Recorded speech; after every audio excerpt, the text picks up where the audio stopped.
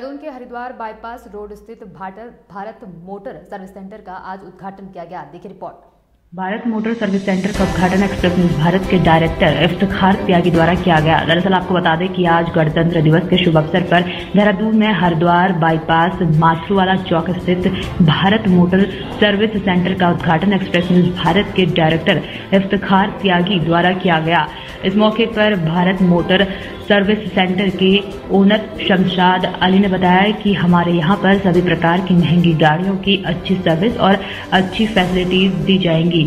हमारे यहाँ पर आने वाले कस्टमर को अच्छे ऑफ़र के माध्यम से सर्विस का लाभ मिलेगा, जिससे कस्टमर को ज़्यादा से ज़्यादा फ़ायदा होगा। इस मौके पर अमजद अली व कपिल बंगारी सहित काफ़ी संख्या में लोग मौजूद रहे।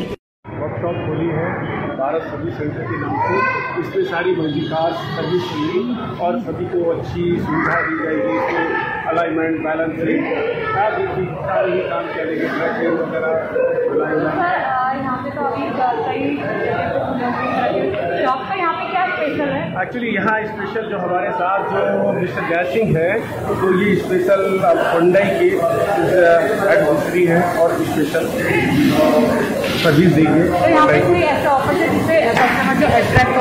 बिल्कुल बिल्कुल बिल्कुल। ऐसा है जो भी सर्विसिंग में जो भी हमारे यहाँ ऑल कार रहेंगी तो जैसे कि कस्टमर्स आते हैं यहाँ पर और जो भी ज़्यादा से ज़्यादा डिस्काउंट होगा और बेस्ट बेस्ट सर्विस होगी तो वो प्रोवाइड की जाएगी। हमारी